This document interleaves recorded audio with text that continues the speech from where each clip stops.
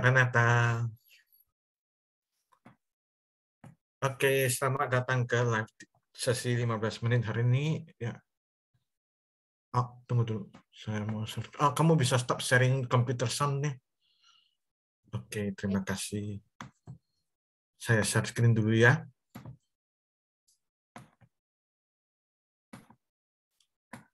Oke, selamat datang ke sesi 15 menit hari ini. Hari ini kita bahas tentang Australia.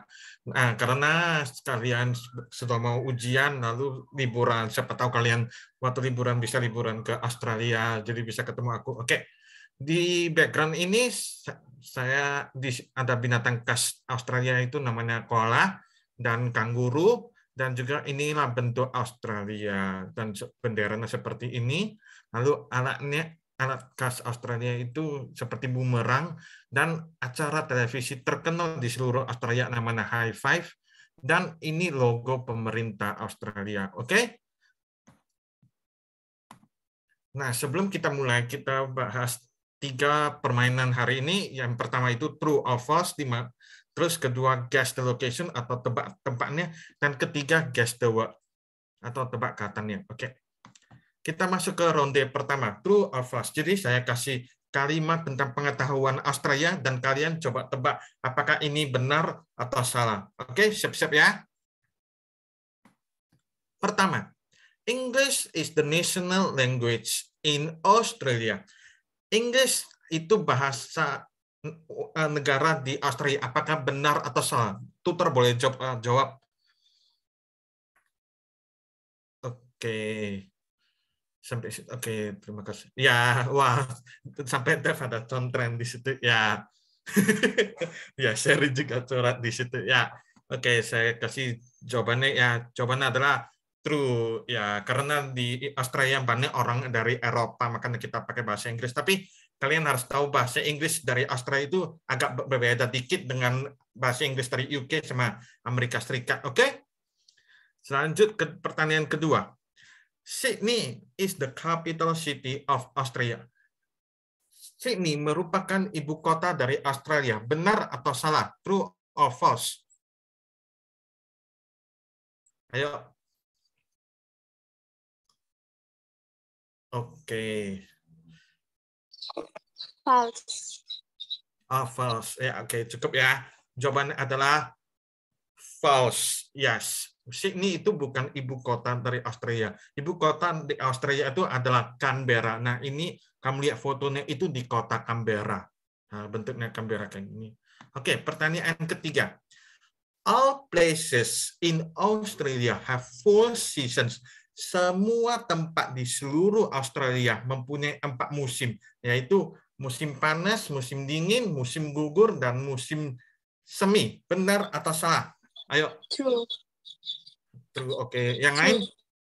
True. Yang lain? True, Kak. Oke, okay, true. Oke. Okay. Apakah betul? Jawabannya adalah false. Tidak semua tempat di seluruh Australia mempunyai empat musim. Ada beberapa tempat, khususnya di Australia bagian utara, mempunyai dua musim, yaitu musim panas dan musim hujan, seperti di Indonesia. Nah, karena Australia terletak di bawah Indonesia, makanya mempunyai ada beberapa tempat dari Australia mempunyai dua musim, yaitu musim panas dan musim hujan. Kalau di sini punya empat karena di bagian selatan. Oke, mengerti ya? Ya kita lanjut ya. Pertanyaan keempat. Australian dollar is the currency of Australia. Mata uang Australia itu namanya Australia dollar. Benar atau salah? Benar, Kak. Benar. Yang lain?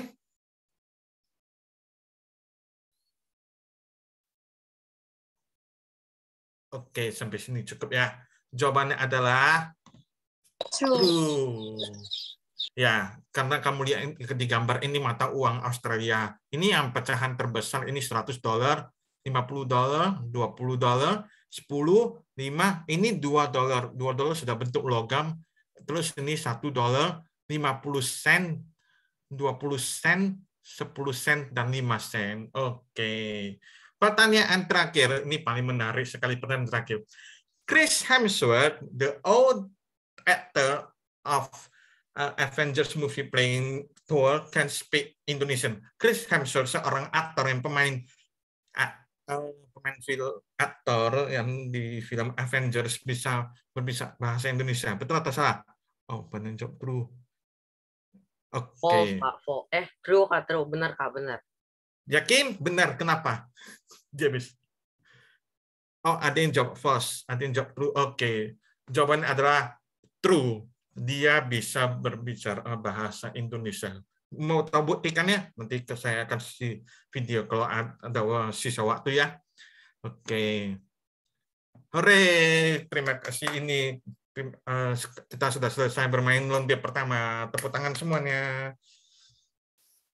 Oke, sekarang kita masuk ke ronde kedua, yaitu guess the location. Kita tebak tempatnya. Jadi saya kasih gam foto tempatnya. Oh, ya, ya. Anugerah bilang, Tom Holland pernah bilang, ya benar. Oke, uh, jadi saya kasih foto fotonya dan kalian coba tebak tempatnya. Oke, tapi sebelum kita mulai, saya kasih peta-peta Australia dulu. Nah, jadi di Australia itu terbagi jadi delapan negara bagian. Ya, terus yang pertama Western Australia atau W oh sorry. WA ibu kotanya Perth, South Australia SA ibu kotanya Adelaide, Northern Territory NT ibu kotanya Darwin, Queensland atau QLD ibu kotanya Brisbane, New South Wales NSW ibu kotanya Sydney ya saya tinggal di sini Victoria VIC ibu kotanya Melbourne Tasmania TAS ibu kotanya Hobart dan terakhirnya the Australian Capital Territory atau ACT ibu kota di seluruh Australia adalah Canberra. Oke, ya kita apakah kita mulai? Oke, pertanyaan pertama. Kalian bisa tempat ini tempatnya di mana? Ayo. Apakah di WA, Western Australia, atau NT, Northern Territory, SA, South Australia, Queensland, QLD, New South Wales, NSW, Victoria, VIC, atau The Australian Capital Territory, ACT, atau Tasmania, TAS. Ayo. Ya, kiri menjawab Sydney. Yang lain, ayo. Sydney bukan kak. Di mana? Sydney kak. Sydney. Oh Sydney. Ya, oke. Okay. Sepertinya agak susah ya. Ya. Ini Southwest kak. Oke. Jawabannya adalah di Sydney. Ini nama tempatnya adalah Sydney Opera House sama jembatan Sydney di New South Wales. Iya, ini tempatnya. Oke. Pertanyaan kedua. Ayo, ini di mana? Ada movie world itu. Ayo, di mana itu? Ayo, nggak apa-apa kalau kalian nggak tahu sih, tebak aja coba. Ayo.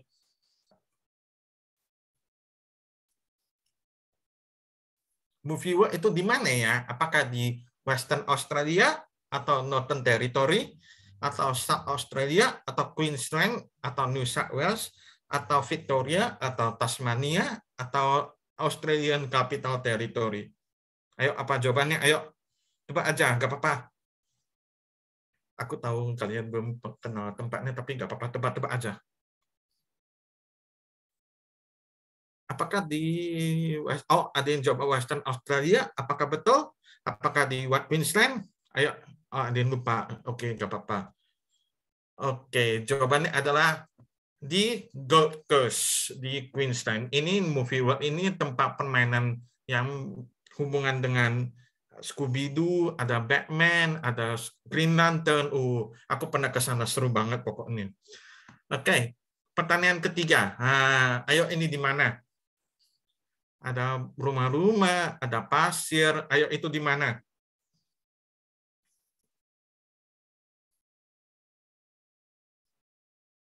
Tebak aja ayo nggak apa-apa tebak-tebak aja. Biar nggak buang waktu karena kita pernah 15 menit saja. Darwin oke. Okay. yang lain? Ayo coba tebak-tebak aja.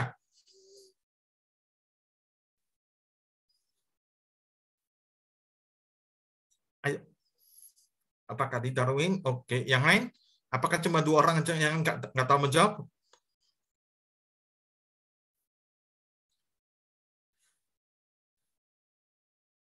Norton dari. Oke. Victoria. Oh, Natal jawab Victoria. Apakah betul? Oke, mari kita lihat jawabannya. Ini di Brighton, Victoria, yang dekat kota Melbourne. Ini nama tempatnya adalah Brighton Betting Box. Jadi ini kayak rumah, tapi itu tempat pemandian karena dekat pantai. Oke, pertanyaan terakhir. Nah, kalian paling suka lihat binatang-binatang kayak gitu. Itu di mana? Ayo,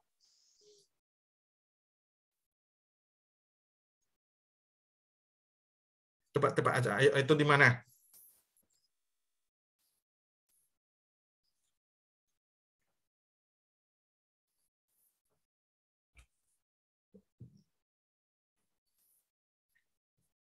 Tasmania, Western Australia. Hmm, apakah betul?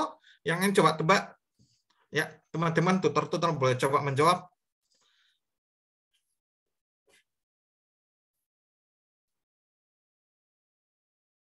Loh, nggak bisa menjawab ya. Nggak apa-apa tebak aja. Coba. Apakah di Northern Territory atau Queensland atau Victoria atau di Tasmania? Uh, mungkin bisa sih atau di pasir-pasir bisa juga sih.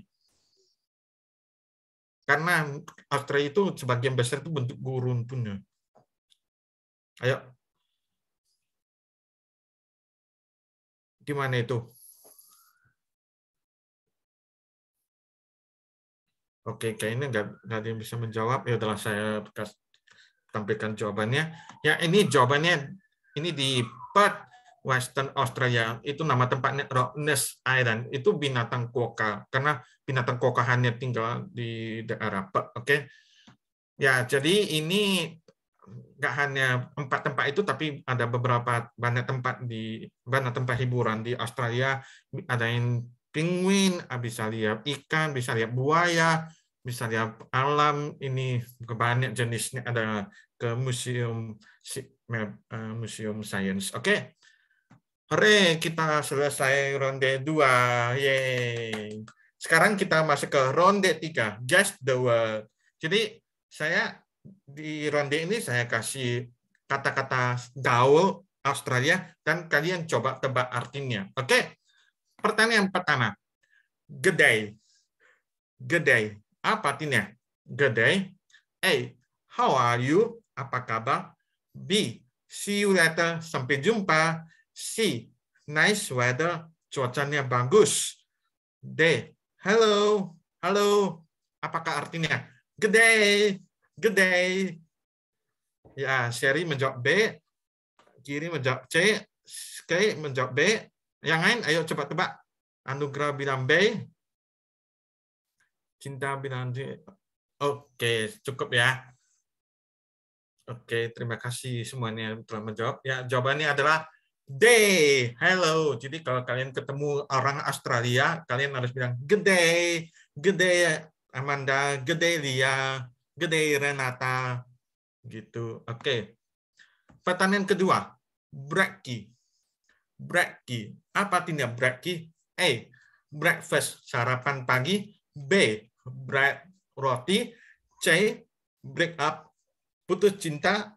D. Break, tata atau istirahat. Ayo, apa yang jawabannya? Uh, ada yang jawab C, ada yang jawab D, ada yang jawab A. Oh, banyak yang jawab A. Oke. Jawabannya adalah A, breakfast. Karena ini kan agak panjang. Jadi orang Australia suka singkatin break tambah ki. Jadi breaki. Itu artinya sarapan pagi. Oke, pertanyaan ketiga. Alvo. Alvo. Apa artinya alvo? A. Afro, rambut keriting. B. Avocado yang buah apokat. C. Afternoon, siang. Atau D. Serve layanan layanan ya ya ada yang job C yang lain ya ayah job C kirim job C yang lain ayo ayah job C yang lain oke cukup ya jawabannya adalah C afternoon. Jadi Arvo afternoon. I have brekkie in the morning and I have my own lunch in the Arvo. Gitu. Pernah pertanyaan keempat. Barbie. Barbie. Apa artinya Barbie? A. Barbie doll, boneka Barbie. B. Barbecue. Ya, barbecue yang C. Barbie movie, yang film movie Barbie. Atau D. Barbie tempat pemangkas. Ayo, jawabannya apa? Oh, ada Ernest jawab B, Kirin jawab B, Nadine jawab B, Cinta jawab C. Oh, Anugrah bilang bingung antara A sama C. Yang lain, Barbie. Oh, oke, okay, oke. Okay. Jawabannya adalah barbecue. Ya, maaf ya, karena ini sudah overtime di sini. Ya, jadi pertanyaan terakhir. Oke, pertanyaan terakhir, satu lagi. Ini apa jawabannya? Ayo, ini jadi uh, makanan apa ini? Sugar bread, colorful bread, atau rainbow bread, atau fairy bread? Oke, jawabannya adalah cukup. Jawabannya adalah fairy bread. Ya, jadi karena makanan warna-warni namanya peri. Oke, jadi nggak hanya kata kosa kata sedikit kata-kata tapi juga banyak sekali kata-kata gaul dari Australia dan ini pengertiannya. Oke, terima kasih telah hadir di sesi 15 ini dan saya juga terima kasih kepada teman yang telah membantu dan jika kalian mau ke Australia hubungi aku supaya bisa bisa kita. Oke, terima kasih dan sampai jumpa. Wah, Oke, okay, thank you Kak Aaron. Makasih udah ngajarin kita banyak banget tentang Australia nih. Mungkin kita nextnya masih bisa ngebahas Australia lebih lagi kali ya Kak. Tapi makasih banget, jadi banyak banget nih pengetahuan tentang Australia yang bertambah. Nah, kayak karena udah kita udah belajar tentang Australia, sekarang kita lanjut nih belajar ke pelajaran. Seperti biasa, kita akan masuk ke breakout room. Jadi teman-teman pastiin untuk rename dulu ya. Jadi kita bisa masuk, kalian bisa masuk ke breakout room langsung. Dan kalau misalkan nanti kalian belum di-assign ke breakout room, kalian cuma perlu rename aja dan tunggu ya. Nanti pasti di-assign. Gitu ya semua. Makasih dan semangat. Oke, langsung masuk.